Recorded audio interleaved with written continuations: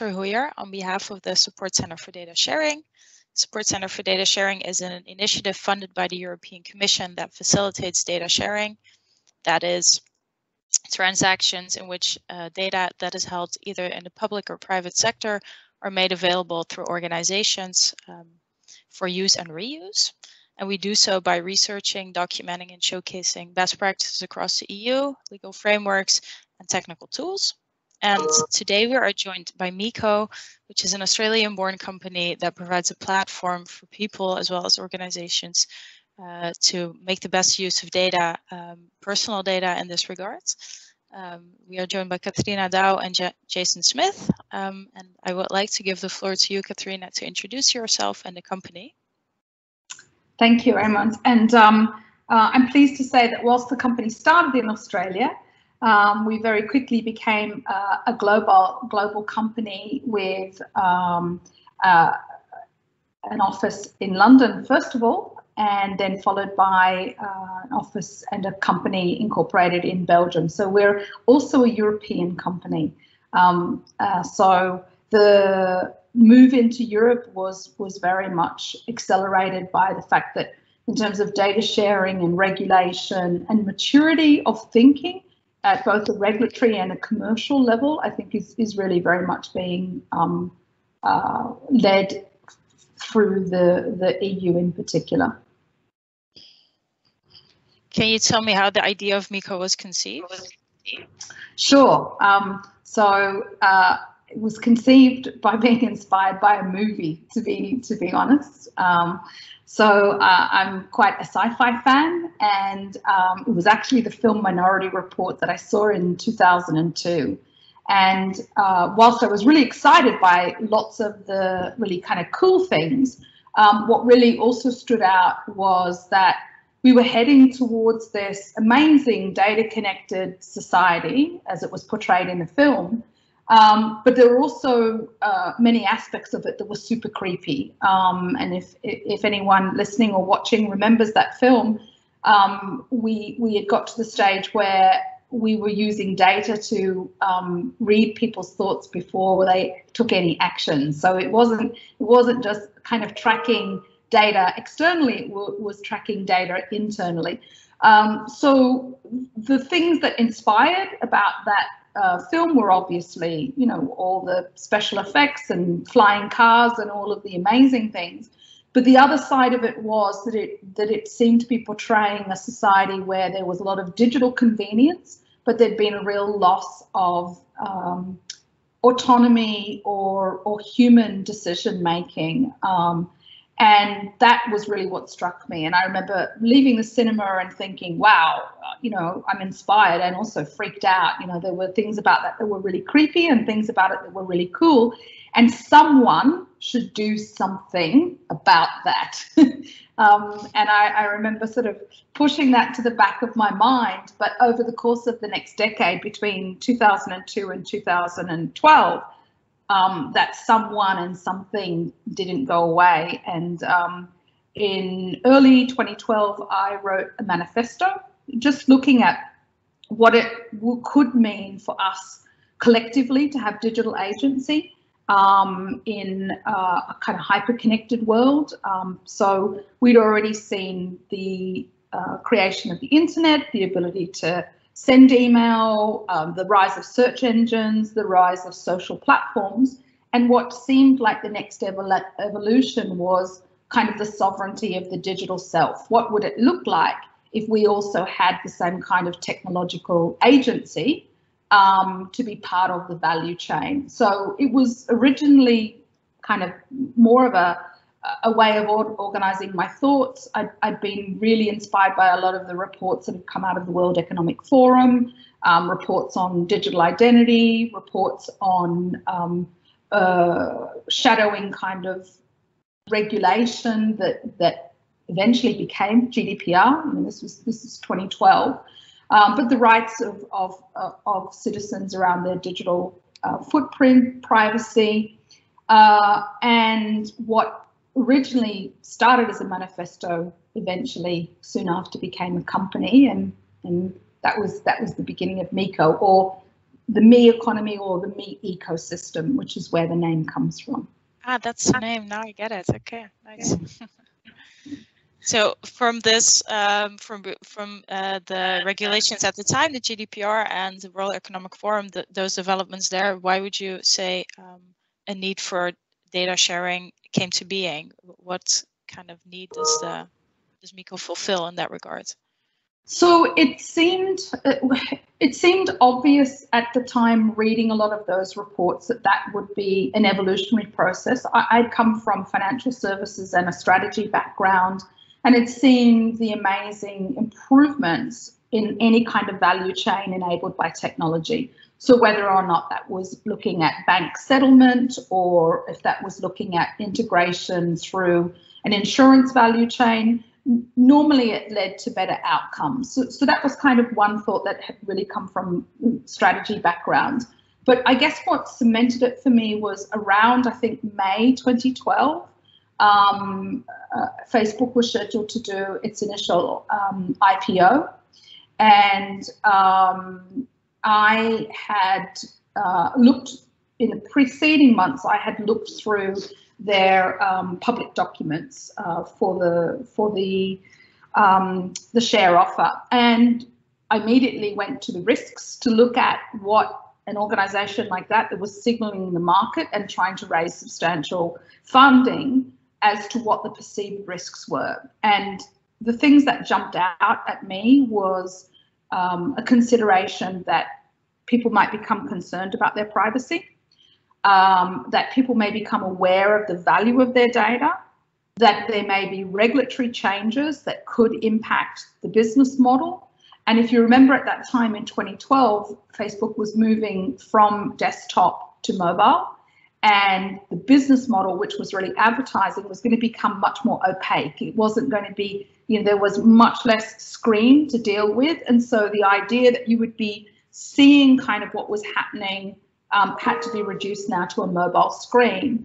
And so for me at the time, that suggested that if we could um, think of a platform that would enable privacy by design, didn't monetize data, uh, took into account there would be a regulatory framework and had a very transparent business model, that there may be um, a, point in the future where those risks became a reality and therefore we were we were looking at um, alternatives.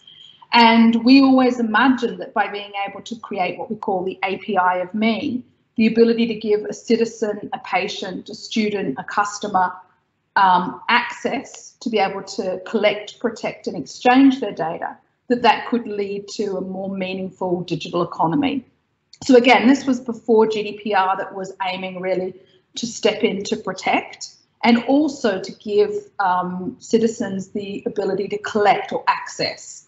But the piece that seemed missing from our perspective was the exchange. If we were going to move towards a very digital society, then whilst privacy is paramount and very important, you can't have a digital economy if everyone is locking their entire digital footprint away so they can't transact in a digital way.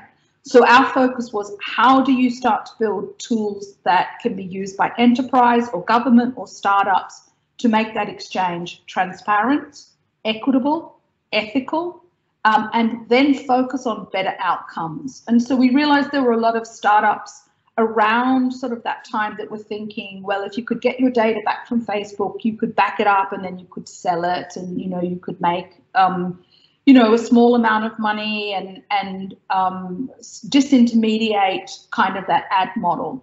And our perspective had always been that if we could get directly into the value chain, then what we could um, enable a better outcomes and better decisions. So more personalized health or financial decisions or education or transport. And that would require participation um, and for participation to work for all parties, then you, you, need to have trust and transparency. And that was really the basis of, of why we developed the platform to enable that exchange. Yeah. Yeah, you've mentioned stepping into the value chain and covering uh, the entire process in that regard. Um, this kind of ties into uh, my next question. Like, um, what is the data sharing lifecycle of Meeco? Where does it start? Where does it end? Where do you get the data, and uh, at which points do you sort of uh, let it venture it out? Um, how does that work? So we so we talk about collect, protect, and exchange. So collect could mean um, you exercising your data rights. So it could be that you apply um, in a European context for access to data that's being held. Um, it could be that you are accessing one of our products inside, um, uh, uh, for instance, your mobile banking application. So it could be simply that you're able to collect data that's important to you or that might be pushed to you from um, your bank, say, for instance, under open banking, or from your healthcare provider because uh, there is a reciprocal API. So the ability to pull it from a source or receive it from a source and also collect. There's lots of day-to-day -day admin jobs that we do every day where we're creating spreadsheets or we're creating notes or where we're actually creating documents or information that's really um, uh, important or could be reusable. And so we imagined the importance of being able to bring it from a source um, by request, um, receive it because it was being pushed to help you uh, with a job to be done, you know, open a bank account, book an airline ticket, or for you to be able to bring it from other parts of your life because it's time to renew, renew your insurance and, and you actually have the data, the documents, the information that could help you with that decision. Yeah, so from a practical point of view, me as an individual, if I would use your platform, I would have access to, well, for let's say uh, the data that my insurance uh, collects on me. I could, I could see what they have on me. Is that a bit how it works, or am I wrong? I think it's good to step back and say if you were to use our platform, because I think that was one of the big um, insights for us as we started to develop the platform was that initially we were thinking that uh, people were ready for this kind of capability. Um, and I think in many ways, from a privacy point of view, that's true. But the important context around uh, the data economy is that it's actually three layers that, and the technology is probably the easiest part of it. There is always the regulatory or legal environment, and then there is the commercial. And I, I once we started to work with organizations um, around real use cases, we realized that actually, rather than having a direct to consumer capability, that we could focus on a platform capability um, that would enable a startup that has a great idea around collecting or protecting data, or an enterprise that has a regulatory requirement to offer more transparency, that if we focused on a platform of tools um, and capabilities, then it would extend uh, the, the use of, of what we were developing, but it could also um, enable each of those different sectors, say health, education, travel, retail, for all of those sectors to develop something with some deep subject matter expertise. So the focus for us is was to, as it is still today, is to look at the tools, the capability, the security, the encryption, the data exchange, the, the emerging standards, the interoperability, the portability, all of those things that are very important for an individual to be able to have and to make that as simple as possible to build new applications. So again, whether or not that's by putting our technology inside an existing portal or app or digital um, interaction, or whether or not it's some wonderful founder that's listening to this, this interview who has a really great idea to solve a problem and help people make better digital decisions.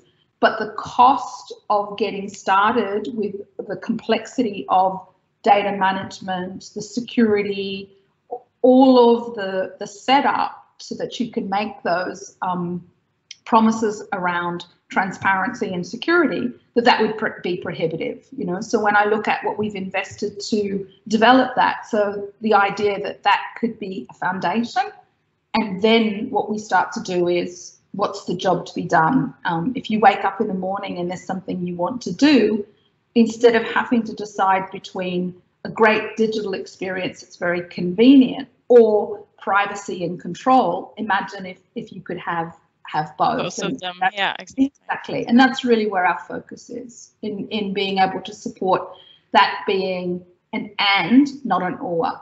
Convenience, problem solved, and the ability to, to have that privacy or control or, or transparency.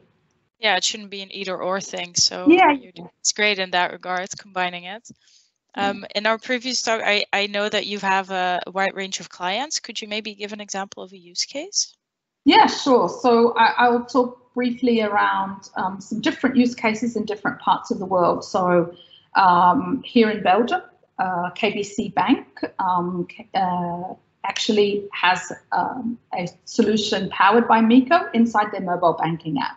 So uh, that's quite simply a digital vault or digital safe that enables customers to collect and protect their data. Um, and what's unique about that is that uh, we never have access to any data that is used through our platform, uh, neither does the bank. Um, and so that is a really fantastic example of um, a privacy and security um, uh, uh focused initiative for a customer um, that, that doesn't mean the customer has to trade off, but has all the convenience of being able to access that environment inside their mobile banking application. That's one example. Another example. So none of their personal data is shared with the so none of their personal data is shared with the bank or with you. It's entirely in their own hands.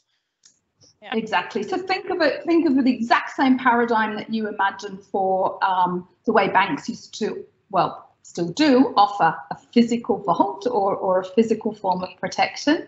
But more and more as our life moves to digital, then what are the things that we we know we want to be able to um, trust uh, their safekeeping, but we may also want the convenience of everyday access. And, and I think in, in that regard, that's one of the things that um, uh, banks are uniquely positioned to do. And in, and in particular, I think KBC have demonstrated real market leadership in, in, in taking that initiative for sure. Okay, this is a, an example in the banking world that you mentioned. Um, do you want to talk so, about others? Or? Yeah, so also in Belgium, we'll do Belgium first and then we might jump to Australia. Um, so also in Belgium, um, in the coming weeks, we will uh, we will co-launch um, together with uh, HIDA, um, uh, a children's platform for children, a, a designed for children sort of age zero to seven. And uh, it's a media platform to enable children to have access to all different forms of media that has been curated by their parents or their grandparents or their teacher um, in a way that is safe and secure. So it uses all of the same underlying technology, the ability to collect, protect, share, exchange. Um, it has parental controls. It has um, a role for um, mediation. So media can be viewed first. And there are two separate applications. Um, and the children's media app is uh, digital uh, and um, supports digital content but not connected to the internet in the same way that you would have um, a product like YouTube, meaning no tracking, no advertising, no algorithms, and no concern on what's going to come up next. And so the idea of that whole media platform is designed for children to, to have a safe environment. Connections are, are moderated through the family. It's a great way to help young parents start to understand how to protect their, their child's digital footprint. And it's also the convenience of something that children can play with and interact with without having to trade off the other things that are a concern. So that's um uh, that's like a very nice initiative also yeah. for, for parents to have some kind of control of what their child is seeing. Uh, I imagine um, if they just go off and wander on the internet, that's uh, for a parent way less concerning um, than having some sort of control there. And it's also beautiful. So that product is called Mixit um, because the idea is also the child with with at a very relatively young age can mix the media and experience the media in different ways. So we all know that that children have a short attention span. So the idea of it being interactive and playful is really important, um, which is why children naturally explore if they're connected to digital tools or they're online. And that exploration can sometimes have a child ending up in a space that a parent doesn't would, would prefer them not to be. So we, we took into account the idea of how do you still allow a child to explore and play, but at the same time make sure that that is within a safe environment. Then if we um, if we look to Australia, we're doing some very interesting things um, in the financial services sector, um, and we'll, we'll actually have more to say on that in the I think in the coming weeks, um, particularly around decentralized uh, identity and working on um, a multi-purpose wallet that supports uh, verified credentials using one of the leading um, standards for verifiable credentials as alongside digital identity and payments. And we will also be supporting a token service and we'll also um, uh, produce a, an SDK and a range of tools so that that actually can um, be supported uh, can support other applications, including um, uh, another partner in Australia that's building on our platform, Vela Solutions, that is taking that capability and focusing on workforce management. So how can you help um, an employee collect and protect um, the data associated with their employment, um, whether that's onboarding or whether that's um, uh, being able to prove something around their ability to work with children or um, a police check or um, uh, their education status or specific experience. So when you think of all of the things that you may need when you're applying for a role or if you're working as a consultant to be able to prove that not to your employer, but so that your employer is able to show that within a consulting context. Um, also, the ability for you to have access to, say, a physical environment based on the role that you're in. So, particularly post COVID, we're going to have this new hybrid world of, of um, I'm sure if you're anything like me, you're, you're keen to connect back into the human. Um, yes, very much. yeah, and see, and see people again. I, I know I'm I'm really getting to the point where I'm very tired of my own company. Um, but by the same we all time, are, I think. yeah, I'm super productive. You know, it's this bittersweet. Yeah, I mean, you you can get so much more uh, in your day um, but at the same time, we're missing a lot of those wonderful opportunities that happen when people are just connected. And so tomorrow's workforce, and by tomorrow I mean, you know, post summer, I don't mean years away, but the workforce that is emerging um, will be very different. It will be a hybrid. And so who are you? Should you be here in this building, in this place? Are you who I expect you to be? So the idea of being able to trust identity and credentials, um, location, skills. These things are going to become more and more important for us to be able to support in a digital way because the friction that we would put up with in the physical world won't be there. Um, the idea that you might uh, onboard to a company and it might take a couple of weeks to get all that documentation sorted out, but that's okay. Come to the office, someone will swipe you in. That's not the case. I mean, we doubled the size of our company last year, and and all of the people we hired I'd never met physically before. There was no office for them to come to. So part of our motivation and, and interest in supporting someone like Bella Solutions to bring this to market is was the same for us. You know, how do you how do you go through that recruitment and onboarding process? And then one more example, which I think is um, which is a great um, move towards our original vision around life management, digital life management. And I think one of the most um, fantastic examples of that is a company called My Life Capsule, uh, also in Australia. And they're really focusing on um, intergenerational digital life, meaning all the admin tasks associated with many different life events. Um, some of those life events filled with joy, the birth of a child, and some of those life events very difficult, the loss of a loved one. Um, and it's at those wonderful moments and at those difficult moments that there's often some administration that goes alongside of that, registering a birth, arranging or getting access to a bank account, turning off digital accounts, um, setting things up, being able to make sure that that in case of an emergency, there is someone that you trust that has access to your information. And um, my life capsule is focused on looking at those intergenerational life events and looking at how that digital experience um, can not only be managed, but how you can develop um, a, a trusted circle uh, around the family as to who you would trust, what you would trust them with, and what would be the event that would trigger access to, to the sharing of that information. And in that uh, regard, do you use any specific licensing or legal standards to share data? Does that come into play? Yeah, we do. So, um, so a lot of the the platform um, has been um, developed, uh, you know, developed in house. However, we're very active when I when I talked a, a little a few moments ago around the verifiable credentials. We're following the W3C standard.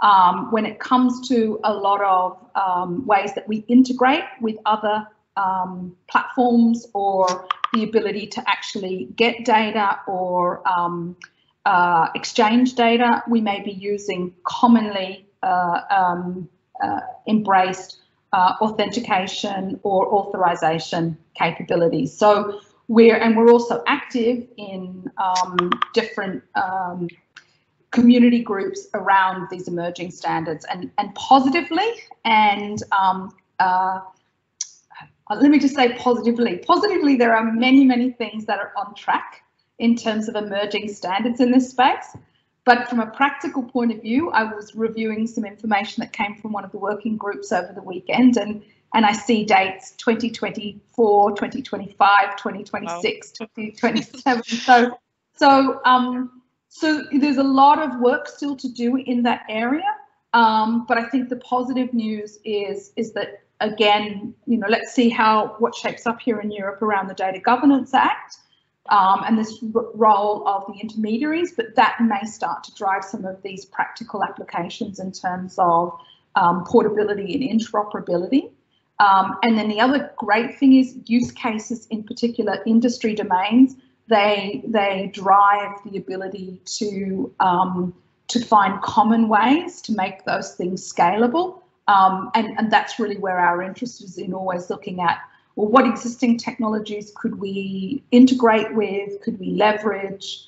Um, and, and kind of one of our philosophies has always been we see this emerging decentralized world with lots of wonderful prom promise with decentralized solutions, whether that's dis um, um, distributed ledger or blockchain or self-sovereign applications. And then we see the world that we're in now, hospitals and, and uh, airports and border control and banks and insurance companies. And our vision has been to build this tool set that enables both of those worlds actually to coexist and work together. Because it seems like now it's very separate. So uh, the the environments that we live in ourselves are not uh, as self-sovereign uh, and decentralized yet. Is that what you're what you're seeing?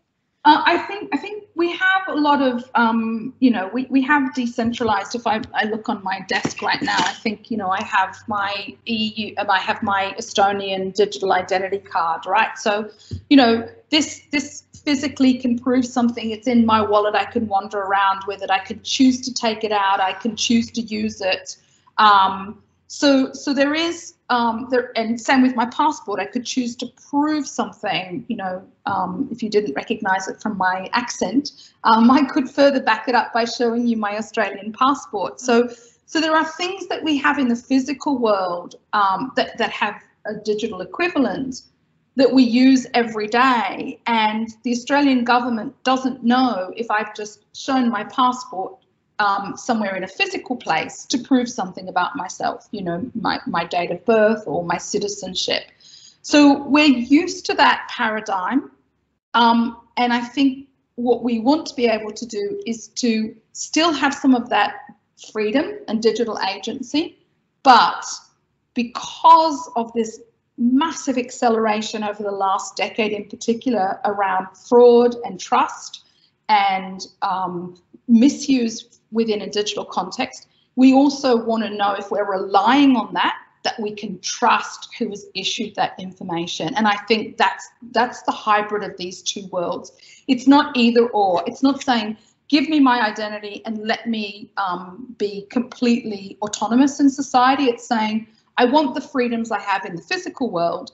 However if something um, is really important i want to know that there is digital infrastructure that will allow my government to say yes this is who this person is, or this document is valid, or this person is licensed to drive. And so I think when we start to think of that hybrid, that's where we start to see the legal and commercial value for all parties. Then, then it's then it's kind of not either or, but it, but it's a pathway sort of towards that future.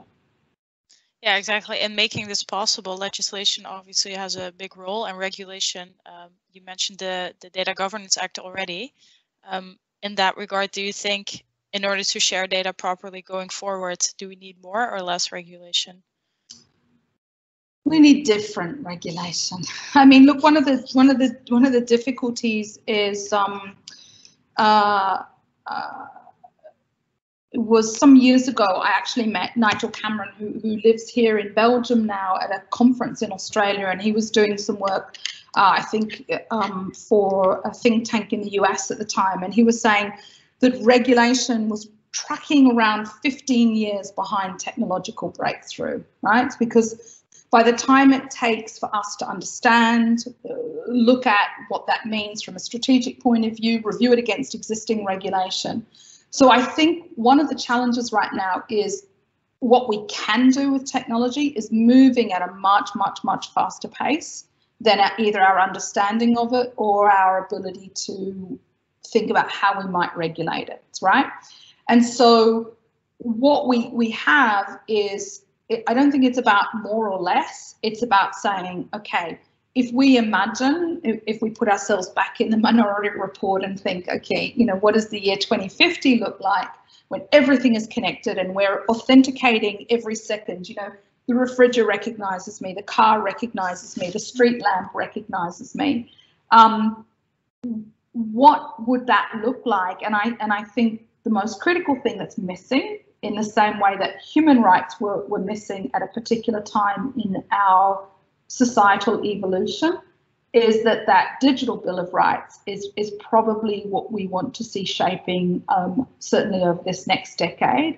And then what's the legal framework or the regulatory framework that would go around that? Because if we if we don't work this out and and we have a generation born that is only digital um, and there isn't that same um, recognition around the rights that we have in the physical world, the ability to close a door or or shut the curtains on a window or or turn something off and have that safe space.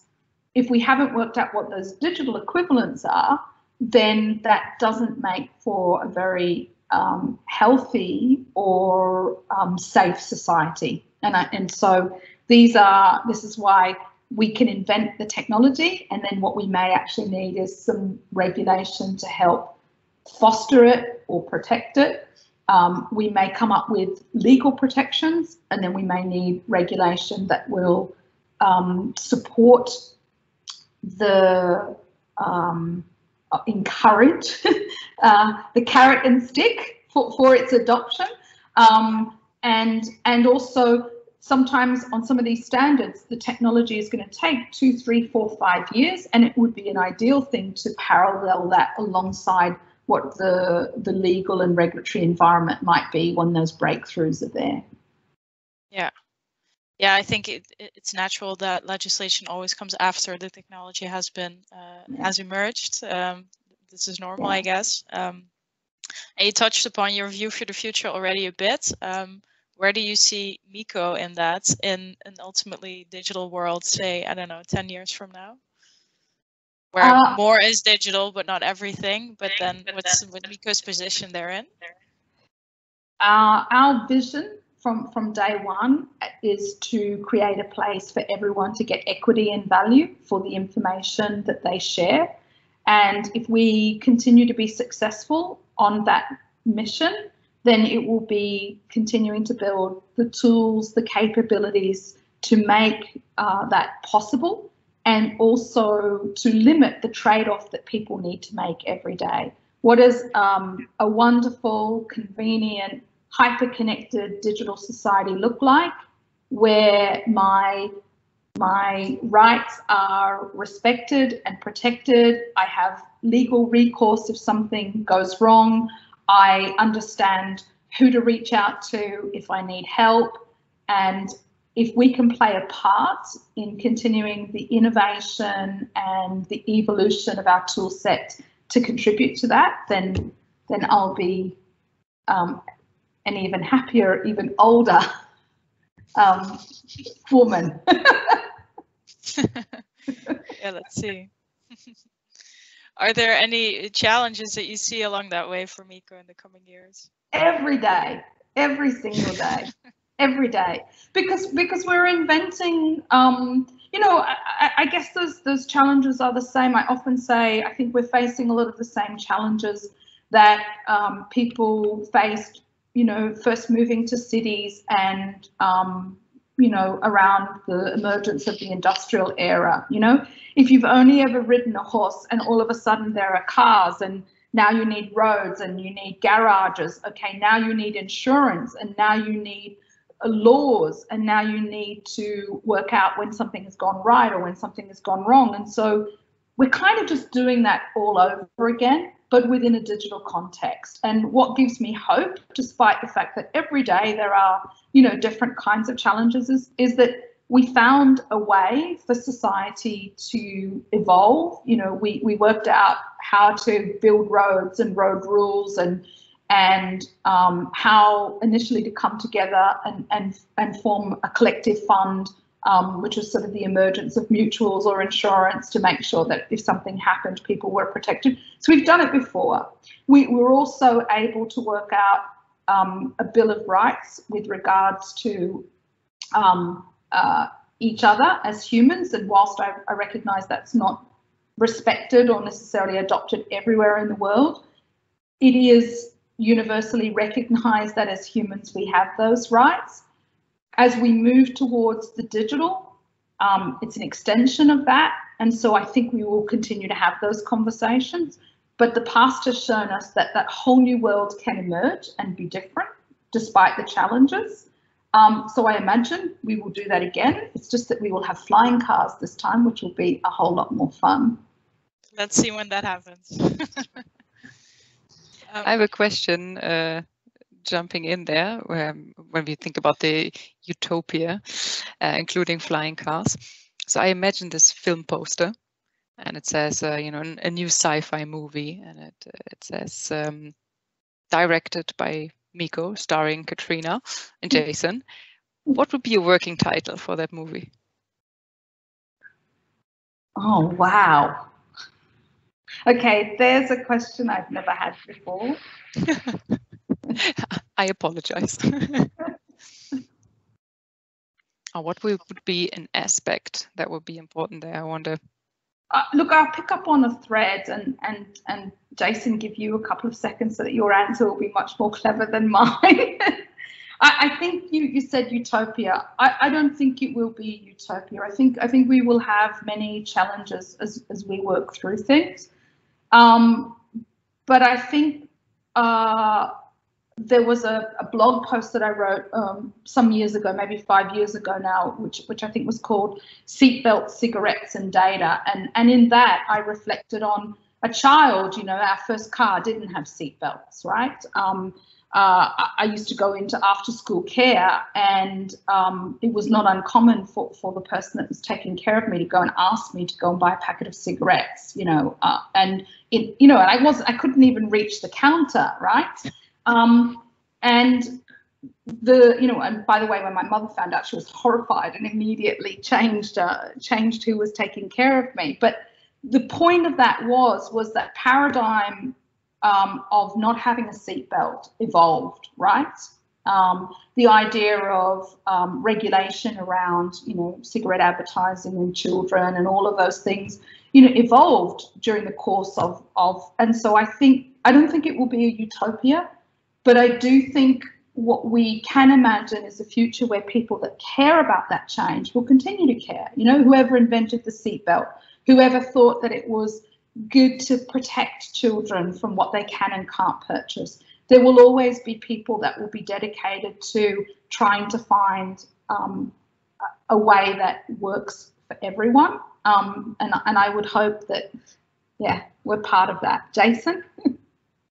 uh, well, I've had a, longer time to think about this. I think Trust Me would be the title. And I, and I think that on a number of levels. One, because um, we probably are moving to a more decentralized world in the future, and trust becomes quite a critical factor there. Um, but I also think from an organizational perspective, we've lost trust in organizations. And so this new paradigm that we're talking about, I think will enable people to, to trust organizations a lot more because they're in control of their data. So it becomes much more of an equal value exchange than it, than it is at the moment. Um, so either trust me or something around, you know, um, uh, some kind of equilibrium within the between us and and them, the corporations. Great, thank you. I, I promise no no more spontaneous questions that difficult, but I totally see the movie poster now. Thank you. Back to you, Ray. Yeah, no, that's okay. Um, from my side, um, I'm I'm done with my questions. Is there anything you would like to add that we haven't touched upon? The only thing I would add is that a lot of the things we're talking about, whilst we've, we've touched on the past and we've touched on the future, the most important thing is the here and now. And there are um, right now the tools and the um, techno legal regulatory environment for these solutions to be emerging. Um, we've developed um, a developer portal um, which provides access to those tools uh, so that people can start to think of the problems they want to solve. And I, and I think the most important thing is we're not we're not whilst we're future focused and our roadmap is informed by what might be. Um, what's more important is that that future is actually right here and now and and that that change that we want to see um, you know we're working with amazing founders and organizations um, in different parts of the world that are driving that forward right now and, and I think I think Jason that's the important thing yeah this is this is not something that is um, uh, going to happen what we see is that this is something that is happening you know, right now Yeah, and I think this is something that has to develop over time as well. This is not uh, something that's already ready. Um, a lot of organizations obviously are working in this field uh, and hand in hand with regulation, this is something that develops over time. Um, but I believe you offer a very uh, nice, great, uh, like a beautiful do good initiative for uh, giving people access over their data and having them control it rather than just giving it away. I think especially now this is really important because we've seen many trust issues uh, arise over the years. Um, I would like to thank you very much for talking about Meeco to us today. Um, Jason, Esther, is there anything you would like to add or ask? No. Nothing to add, but uh, thank thank you, and uh, I'm really impressed by uh, how you explain your view on this, and also the cases you explained to us that Meeco is involved in. Um, you do come across like you are in there with your with your whole heart, um, and that they're very meaningful to you as they are to to me, to society, to us. And uh, I, I'm really impressed. Thank you very much for sharing. Thank you. Thank you for asking us. Yeah, thank you so much for being here today. We will post a recording on our channel uh, shortly after, also the narrative, uh, and I will give you a heads up on when that's out. Um, so um, from my side, uh, that's it. Uh, although I do like to point out that uh, I think last time you mentioned um, that you put out a legal document a while back. uh, and would like to uh, ask us uh, from the consortium side for some advice and to have a look over it or to promote it. I'm not sure if you uh, have this top of mind already. Uh, Yes, so um, uh, it's quite simply um, if you visit our website forward slash data, but we will send you a link. Um, what we did was uh, last year, uh, it's almost a year, so I think it was May last year we published it. So as you know, in February, the EU data strategy was published. I think it was around the 19th of February last year. Um, we stepped back and we looked at that document. Um, and then we imagined um, an additional data space that was dedicated to the citizen in all the roles that we have citizen, patient, student, um, uh, consumer, employee, employer. Uh, and then from that perspective, uh, we looked at the use cases that would enable that to be possible within the context of the EU data strategy. So it's a bit of a summary of the EU data uh, strategy, but it includes six use cases, some of them real that we've talked about today, um, and one last use case that's very future focused, um, but all giving examples of, of that, um, that pathway forward. Uh, and the other thing that we do in the paper is we look at what some of the barriers are to the things we've discussed today being possible. And we also look at some of the things that the EU could do to accelerate the market, whether or not that's around regulation or some of the initiatives like this that are being taken that actually help away, raise awareness or remove some of the barriers to, to people getting started. So. Yeah, that's nice. That makes it a bit more tangible than just uh, Yeah. regulations. It's hard to wrap your head around what that will actually mean for organizations. Yeah. So uh, thank you for putting that out there. So I've shared it in the uh, chat channel, so you should be able to Yeah, Um, I saw that pop up. Thank you for that. I think from our side, uh, that's it. We will keep you posted on when the interview is live and when the narrative is there. Um, so thank you so much for being here today. Thank you. Much appreciated.